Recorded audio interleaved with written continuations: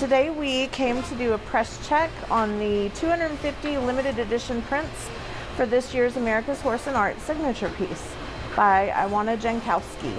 We've been doing business with Cenveo for over 30 years. They're always really great to work with and get us good product really fast and are always willing to work with us. Well, America's Horse in Art is an annual art show and sale we hold at the American Quarter Horse Hall of Fame.